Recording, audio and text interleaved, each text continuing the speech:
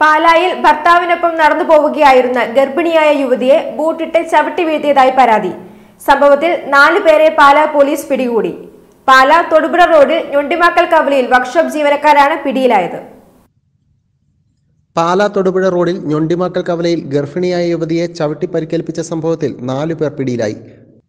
Workshop ഉടമയായ Poovarani Parappally Karuthedathu Shankar K S Ambaranirappel Plathottathil Johnson വർക്ക്ഷോപ്പിലെ തൊഴിലാളികളായ നാരങ്ങാനം ചെമ്പൻപുരയിടത്തിൽ ആനന്ദ് മേവട വെളിയത്ത് സുരേഷ് എന്നിവരെയാണ് Pala S HO K P Thomson arrest ചെയ്തത്. Workshop ഉടമ ശങ്കർ ഗർഭിണിയായ യുവതിയുടെ അടിവയറ്റിൽ ചവിട്ടി എന്നാണ് കേസ്. തുടർന്ന് യുവതിക്ക് ബ്ലീഡിംഗ് ഉണ്ടാവുകയും ആദ്യം പാല ജനറൽ ആശുപത്രിയിൽ പ്രവേശിപ്പിക്കുകയും ചെയ്തു. പിന്നീട് വിദഗ്ധ ചികിത്സയ്ക്കായി ചേർപ്പുങ്കൽ മാർസ്ലീവ മെഡിസിറ്റിയിൽ പ്രവേശിപ്പിച്ചു. ഒരു ദമ്പതികളായിട്ടുള്ള ആൾക്കാർ മുപ്പത് വയസ്സിന് ഭർത്താവിനുണ്ട്. കല്യാണം കഴിഞ്ഞിട്ട് പതിനൊന്ന് മാസമേ ആയിട്ടുള്ളൂ. പ്രഗ്നന്റാണ് അങ്ങനെ പ്രഗ്നന്റ് ആയിട്ടുള്ള ഒരു ലേഡി ഭർത്താവ് ഒന്നിച്ച് ഒരു സ്വകാര്യ ഹോസ്പിറ്റലിൽ തൊടുപുഴയിലാണ് ജോലി ചെയ്യുന്നത്. ഈ ഭാര്യയായിട്ടുള്ള യുവതിയുടെ വീട് പാലാ ഞൊണ്ടിമാക്കൽ കവലയിലാണ്. ആ ഞൊണ്ടിമാക്കൽ കവലയിൽ ഇവർ താമസിക്കുന്ന തോടനാൽ എന്ന് പറഞ്ഞ സ്ഥലത്തുനിന്ന് വണ്ടി കൊണ്ട് വെച്ചിട്ട് സ്കൂട്ടർ ടൂ വീലർ കൊണ്ട് വെച്ചിട്ടാണ് പോകുന്നത്.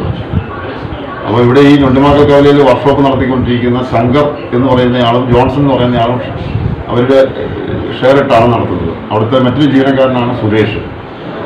അപ്പോൾ ഈ സ്ത്രീയെ പൊതുവേ ഒരു പരാതി ഇപ്പം ഈ കേസ് വന്നു കഴിഞ്ഞിട്ട് പൊതുവേ പരാതികൾ നമുക്ക് ഇവർക്കെതിരെ ഇപ്പം വ്യാപകമായിട്ട് വന്നിട്ടുണ്ട്.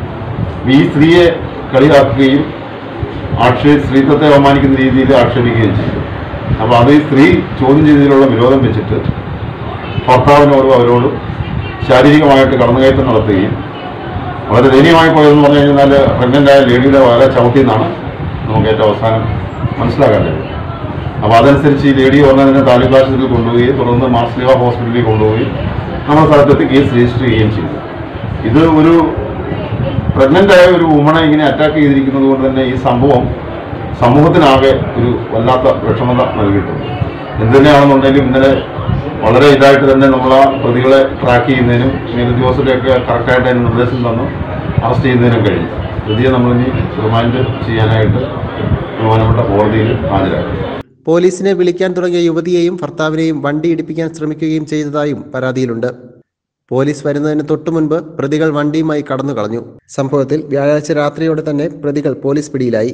തുടർന്ന് പ്രദേശവാസികൾ വർക്ക്ഷോപ്പിനെതിരെയുള്ള വ്യാപക പരാതിയുമായി മുന്നോട്ട് വരികയായിരുന്നു. സ്ത്രീകളെയും വിദ്യാർത്ഥികളെയും കമന്റ് അടിക്കുന്നതും ദ്വയാർത്ഥ പ്രയോഗങ്ങൾ നടത്തുന്നതും ഇവിടെ സ്ഥിരം സംഭവമാണെന്നാണ് ആക്ഷേപം. B news Pala.